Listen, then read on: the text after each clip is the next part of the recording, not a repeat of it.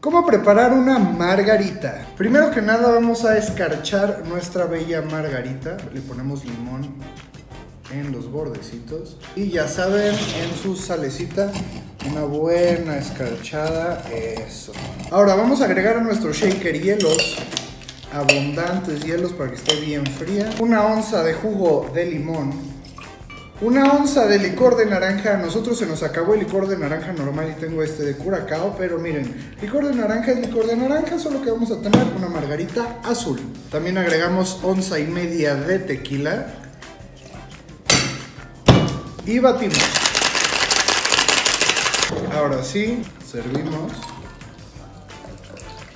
Vean nomás qué chulada.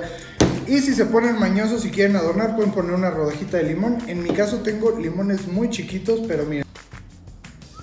Y así de fácil, ¿cómo preparar una margarita?